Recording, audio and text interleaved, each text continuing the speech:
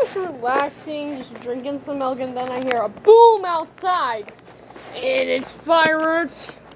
This is why I hate this time of the year, cause uh, fireworks, fireworks, okay, fireworks. It scares my freaking dog. It scares like everybody's dogs. Eh. You know, I got a dog. That's why I hate it, right, cat? Okay, don't don't be cringy. Just don't be cringy. That's that's basically why I hate Fourth of July. Okay, when it hits night, boom, boom, boom, boom, boom.